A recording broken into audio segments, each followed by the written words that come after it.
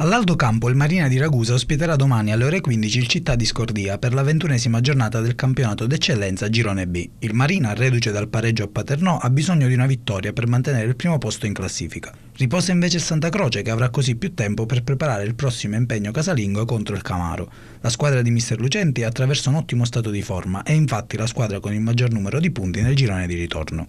Nel campionato di promozione Girone D la capolista Ragusa sarà ospite dello Sporting Eubea e vorrà riscattarsi dopo il precedente pareggio. Il New Pozzallo difenderà la posizione playoff in casa nello scontro diretto con il Cartagirone.